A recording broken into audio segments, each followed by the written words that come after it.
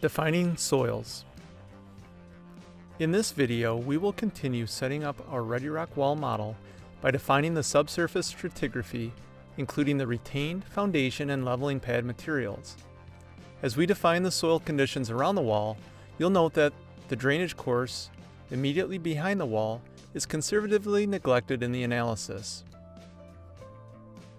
We will use the Profile tab to tell the program elevations where we want to assign contacts between horizontal layers of soil.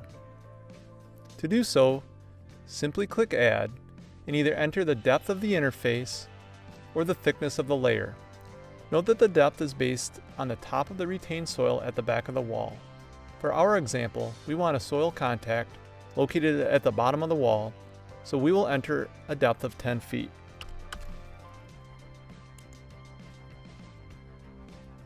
Click Cancel to stop inputting.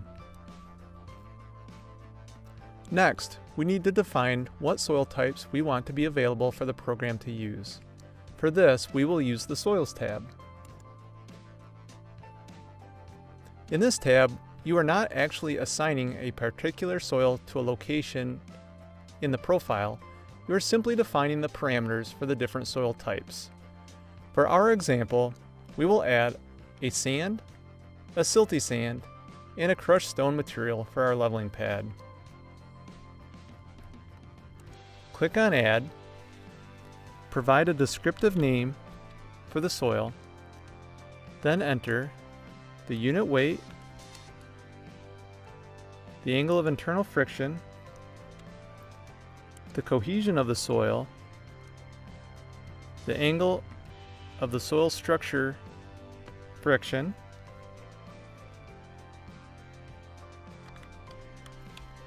and the saturated unit weight. Note that it is often typical to neglect the cohesion of the soil for the retained soils. We can select a pattern to represent our soil and change the color. When you're done inputting, click Add. Note the Classify button, which contains typical values for various soil types. Just enter your soil type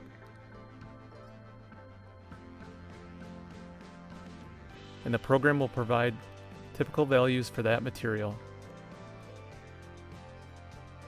Be sure to use values that are consistent with the actual conditions at your site such as those recommended in the project's geotechnical report. Repeat these steps for the remainder of your soil types. Click Cancel when finished.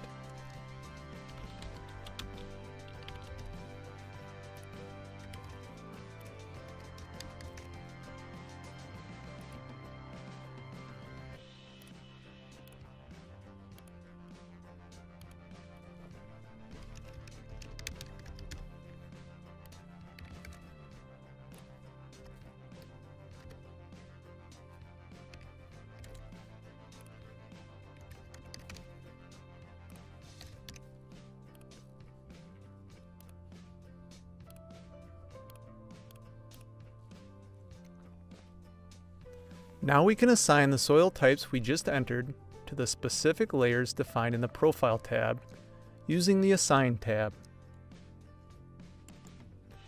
This can be done in three ways. Right-click on the layer and choose the appropriate soil. Click on the sample and then on the layer or by choosing the appropriate soil from the drop-down menu in the table.